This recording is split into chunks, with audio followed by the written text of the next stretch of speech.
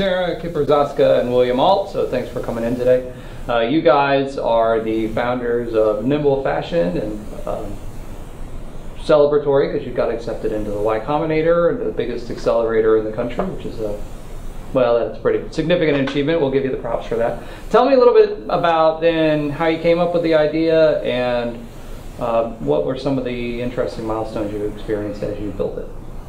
So uh, William and I have been friends for a while, and we were just discussing about how literally I needed a dress for an event that was that week, and um, I was just thinking, man, like I borrowed all my friends' dresses, and I don't want to go spend hundreds of dollars on the square right now. I wish I could just look at everyone's closets in Oxford and ask them if I could borrow it. And so the idea initially came on because I needed the dress. And uh, I told William about the idea of uh, let's start something where women can share each other's clothes. And being in the tech mindset that he is, an entrepreneurial mindset, he said, what do women have all the time? Their phones. Let's make an app. Yeah, it seemed like the original choice. You know, Sara mentioned a Facebook page. Really, you know, that's kind of half baked. And I, you know, mm-hmm. the more I thought about it, I had some entertainment industry experience and realized that that's a problem that these women had seemingly every week. You know, a closet full of dresses and nothing to wear. Um, and and so, really wanted to build something that you know could do that, take advantage of that at a local level, and really give women access to dresses at a good price. Mm-hmm. So it's it's uh, I mean to paraphrase the business idea essentially, um, they would if you have a closet full of clothes, you can put that online. You establish the rate that you're willing to rent the dress to, and then people would log on to the app, say, "I want to rent that dress from you," and then you two work it out offline, kind of like a Craigslist situation, and exchange the dress. And then uh, Nimble Fashion stands in the middle as the intermediary and takes a cut of the transaction, and also offers insurance uh, against damage right? Is that yeah. a fair yeah, absolutely. Yeah, exactly. Um, so what were you guys been working on that then for what two years? So you you pitched it and Gillespie Business Plan like last year before last, and then you won this year. Mm-hmm. What what was the development like on that? So did it go pretty fast? Did you change the idea much as you built, or? Well, uh, you know the Gillespie gave us a big. Uh, structural thing to see like where this business plan could go and that was like the initial competition the first competition and then uh, we kind of had these summer plans but the development really started when uh, in fall right? Yeah it definitely yeah that was i guess really this is our kind of my third or fourth like mm-hmm. technology idea um, and really yeah you were in that thing every year you were a student. Yeah yeah, yeah. so it, how it much should we give you? It's been a couple awesome. thousand. Yeah, yeah, yeah, so um, of course yeah it's definitely great. Um, but really the we learned a lot about the development last summer. Uh, so really, it's just kind of like a beginning of year year one. The idea you can say is about 16 months old or mm-hmm. so, but, but, really didn't make any significant progress. Um, really ramped up about mid fall. Got some some good developers, um, you know, who were my, my friends from undergrad, and a great designer that you know, really helped propel us forward, so, so that we could have um, and learned a lot in the fall and pushed out a MVP, got on the App Store, you know, all things that were pretty difficult to do with for a first time, uh, you know, kind of internet entrepreneur, uh, and then you know, in the spring we really ramped things up and, and launched at the beginning of February. Mm-hmm. What were the challenges of getting customers? Did that go easy? Um, the the problem with any initial business is getting the customers to trust the platform. And so uh, the biggest thing that Ole Miss provided for us were all these connections that we had already established through our undergrad years. And through that, we were able to tell these women about this great idea. And uh, the biggest challenge uh, for me on the marketing side was actually getting the initial content mm-hmm. um, at Ole Miss. Like you have this dress sharing app plat- platform, but where are the actual dresses? And so um, it was a process of telling women what this was and uh, how they could benefit from it. But uh, we were actually, before launch, we were able to get about a little less than 300 dresses. So uh, we had that initial uh, inventory mm-hmm. on the app. So that was a challenge. How many vendors was that actually? So 40 women, 10 women? Um, What would you say? Gosh, yeah. Um, average probably about four, four to six, six item closet. So it's probably about Okay. about forty or fifty. Okay. Good, good estimation. What was so that so any kind of got a two-sided market like this? I mean, you got to get the supply and then you got to get the demand. What was the big enticement to get the supply and then you got to launch and try to drive demand? And we'll come to that next. Yeah, yeah. So Sara, Sara did, did a lot of this, but kind of from my perspective, you know, um, the hardest part was the initial supply, and that really came from our friends. Okay. Um, you know, so A lot of arm twisting. Yeah, I mean, it was, it was it was about a four or five day process. You know, so ask them. What Well, that's not bad. Okay, Yeah. so like Uber doesn't get its supply in five days. So Yeah, that's Yeah. That, that is true. The great thing about actually being a college student is these people are at your disposal. You Mhm. don't have to go find them. I live with them, so that was pretty nice. Yeah, yeah. So you know, they download the app, you, you tell them about it, you remind them, and then, then they up, upload a few, um, and so that having to do that with 50 people was a lot. You know, a lot, lot of I am familiar with getting 50 people to do things on time. It's, Yeah. it's troubling. It really is. It is. Is. It is a task, especially college students. Yeah. So what was the struggle then with uh, demand? So now we've got we've got some people in there, and we need to get uh, lots of folks coming and actually browsing. Right? How did that How did that kick off? The demand uh, part of the app is do you have the choices of the sizes, the styles that people are looking for? And then the biggest thing is is this really going to work? If I request this dress, am I really going to get it from this app that two students at Ole Miss started? Is this a real thing? Mhm. It already paid for it. Am I going to get it? So it was like this validation.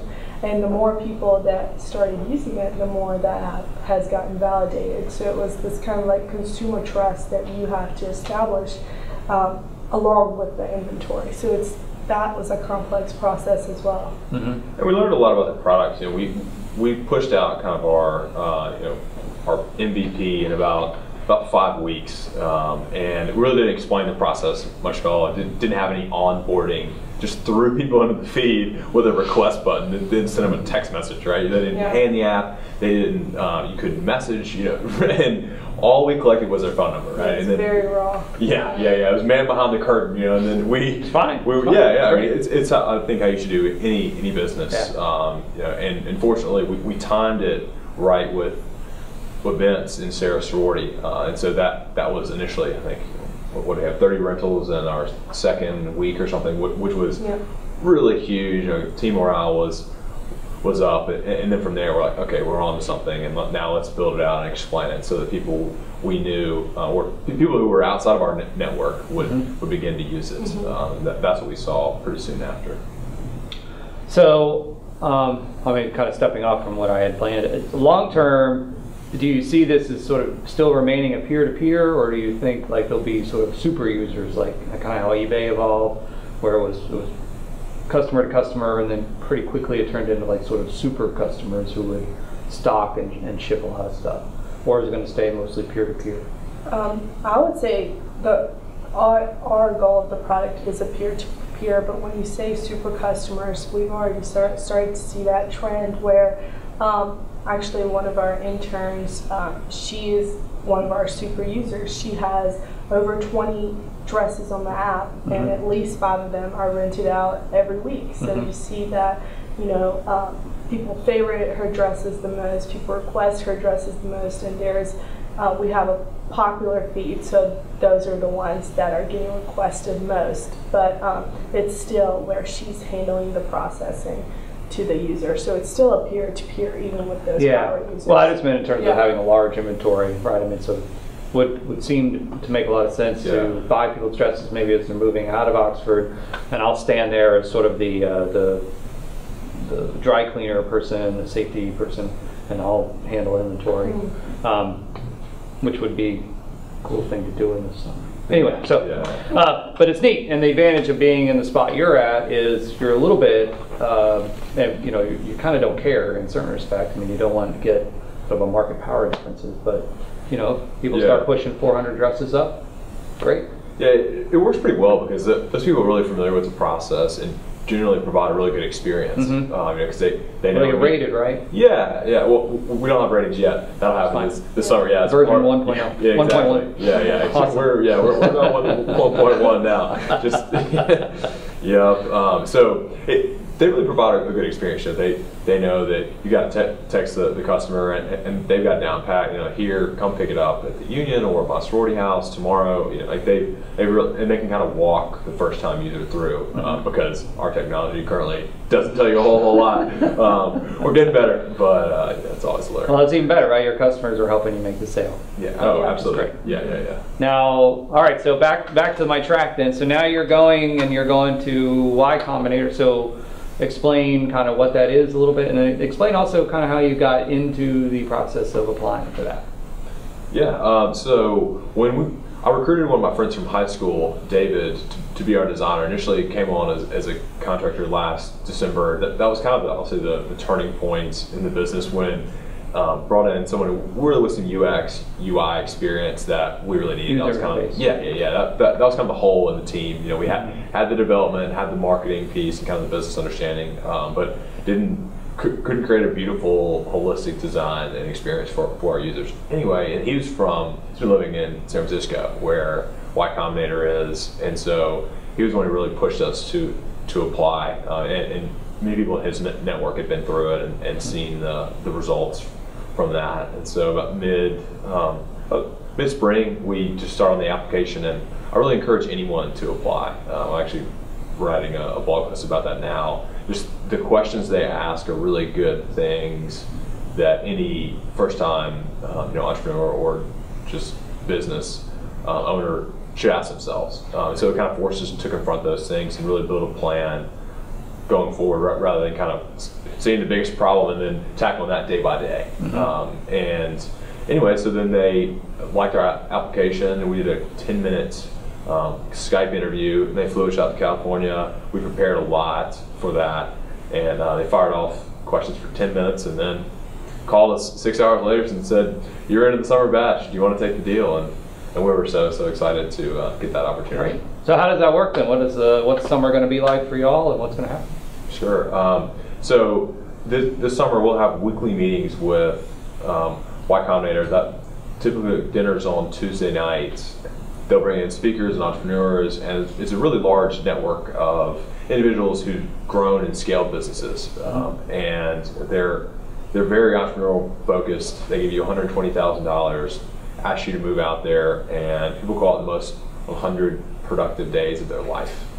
Um, and so we're ready to bu- buckle down and trying to find You're a house. anticipating being busy. In Mountain View, yes, extremely, extremely busy. Uh, you know, trying to on our end, it's kind of tough because we, you know, our business will have some seasonality to it. You know, you, we're going to rent more while we're in colleges. You know, we're going to rent dresses during the fall and the spring. Um, so the summer is, is really, you know, we're going to double down on products, build a whole whole lot, and, and also experiment in Charleston and hire campus directors to get ready to load the cannon for this fall. Mm-hmm. That's our plan. It's a good transition period, I think, from something that has gone, you know, totally amazing for us this year, and then this summer we can reflect on everything we've learned to even improve it mm-hmm. for the next year.